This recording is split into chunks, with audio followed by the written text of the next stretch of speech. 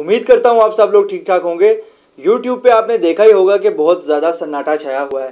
بہت کم یوٹیوبر جو ہے نا آج کل اپلوڈنگ کر رہے ہیں۔ بڑے یوٹیوبرز جتنے بھی ہیں نہ ہونے کے برابر ان کی اپلوڈنگ ہو رہی ہے۔ کوئی نئی ویڈیوز نہیں آ رہی ہیں اور خاص کر جتنے بھی مسلمان یوٹیوبرز ہیں نا، زیادہ تر روزے کی وجہ سے تھوڑے سے سست پڑے ہوئے ہیں اور جن کا ہم یہ سوچ رہے تھے، سال پورا جن کو لوگ برا بھلا کہتے ہیں اور گالی گلوچ کرتے ہیں، جو اپنی ویڈیوز میں مختلف باتیں کہتے ہیں، وہ بھی ان دنوں نظر آ رہا ہے کہ رمضان کا احترام کرتے ہوئے جو ہے نا، وہ ویڈیوز کم بنا رہے ہیں یا نہ ہونے کے برابر بنا رہے ہیں۔ اگر کوئی ویڈیو بناتے ہیں تو اس میں اجتناب کرتے ہیں گالیوں سے۔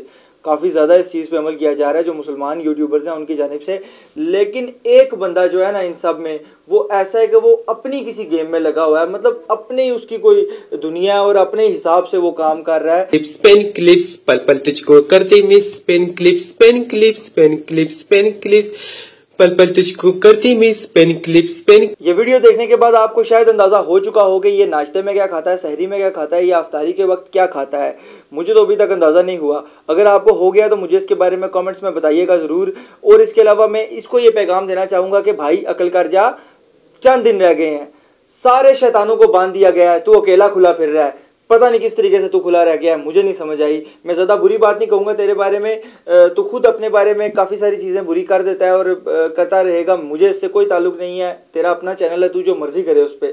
لیکن میرے خیال سے تجھے یہ مہینہ تھوڑا سا احتیاط کرنی چاہیے۔ تھی، نہیں کی تو نے۔ تیری مرضی ہے بھائی، لیکن ابھی بھی وقت ہے، احتیاط کر جائے، نہیں تو یہ نہ ہو کہ رمضان ختم ہوتے ساتھ جو ہے نا، جس طریقے سے باقی یوٹیوبرز تیرے خلاف ویڈیوز بناتے ہیں، جو دو چار یوٹیوبرز بچے ہیں نا، تیرے حق میں، تیرے حق میں ویڈیوز بنانے والے، وہ بھی تیرے خلاف ہو جائیں۔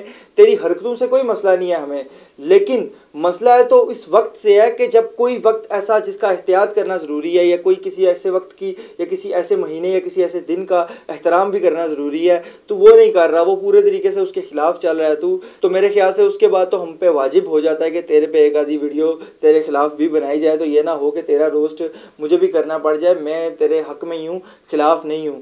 جو مرضی کرتا ہے تو وہ میں نے کہا ہے نا کہ تیری مرضی پہ ہے ساری بات، جو بھی کرتا ہے، لیکن یار تھوڑی سی احتیاط کر۔ اگر میری یہ ویڈیو دیکھ لیتا ہے تو اسی سے تھوڑا سا سبق حاصل کر کے احتیاط کر جا، وقتی طور پہ کچھ دن صبر کر جا۔ نہیں کرنا تو ٹھیک ہے، جو دو چار یوٹیوبرز تیرے حق میں بات کرنے والے ہیں، وہ بھی نہیں رہیں گے، تجھے ضرورت نہیں ہوگی، تو یہی کہے گا کہ تجھے ضرورت نہیں ہے کسی کے کہ کوئی تیرے حق میں بات کرے۔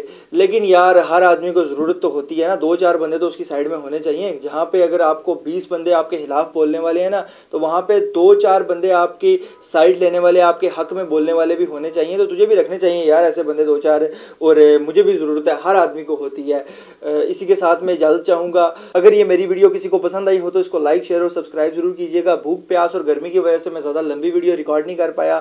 ہو سکتا ہے آپ کو یہ کانٹینٹ نہ پسند آئے نہ پسند آئے تو مجھے اس میں کامنٹس میں آپ ضرور بتائیے گا اس کے بارے میں کہ آپ کو کیوں پسند نہیں آیا، مجھے اس کی وجہ ضرور بتائیے گا اور اگر آپ کو پسند آ جاتا ہے تب بھی مجھے اس کے بارے میں آپ کامنٹس میں ضرور بتائیے گا۔ اس سے زیادہ لمبی میں ویڈیو آج نہیں بنا پاؤں گا۔